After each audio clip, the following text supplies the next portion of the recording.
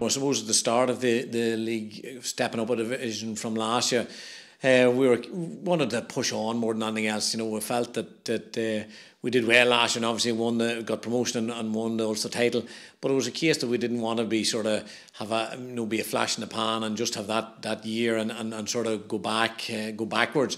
So it was, it was a case of just seeing what ambition was in the squad and trying to improve every aspect of it. You know the the training, um, you know the the whole backroom staff and everything else to see if we could keep pushing on and lucky enough that the league campaign showed that, that we could and that you know we, we uh, consolidated our position in the, in the league and then went on and, and got promotion and, and, and the bonus of, of winning the final as well. So the league gave us a lot and it, it, it brought a lot of new players into the into the uh, panel as well and they did well. So overall the league uh, has gone very well for us but uh, championship's a completely different ball game and so we, we know that and we have to prepare for that now. I would hope that, that we've we've continued on from last year and, and that you know that we're, we're just playing really well as a team. I'd hope that you know whenever we go out we're, we're going to be very hard to beat we're you know we're going to be organised. We're going to be disciplined. We're going to work very hard for each other, um, and we're hoping that that uh, you know that there's wee bits and pieces that that weren't so good last year. You know, I suppose when we came to the Tyrone game last year, we probably didn't score enough. Um,